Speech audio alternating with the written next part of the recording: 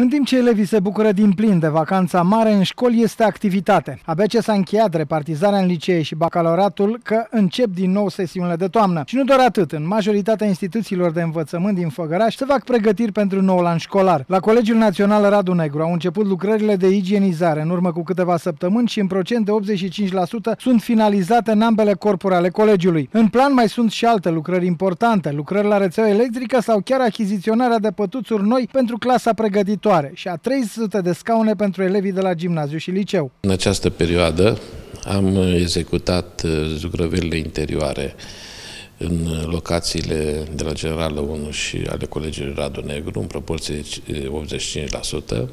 Mai avem câteva lucruri de făcut la acest uh, aspect, dar uh, mai avem o lucrare deosebită pe care trebuie să o realizăm și anume schimbarea instalației electrice de la parter, datorită faptului că sarcina pe care o utilizăm la ora actuală depășește posibilitatea rețelei pe care o avem.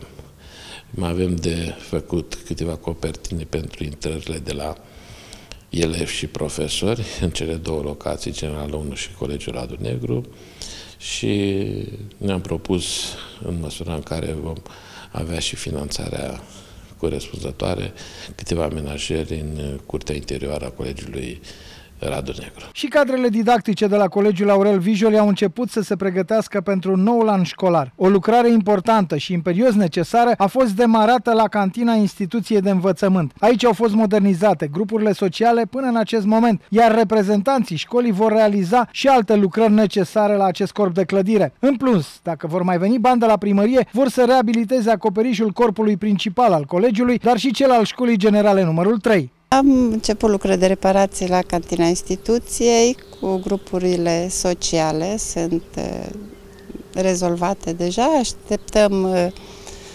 fonduri de la consilii să continuăm lucrări de reparații, de igienizare atât a cantinei, a sălii de mese, cât și a bucătăriei.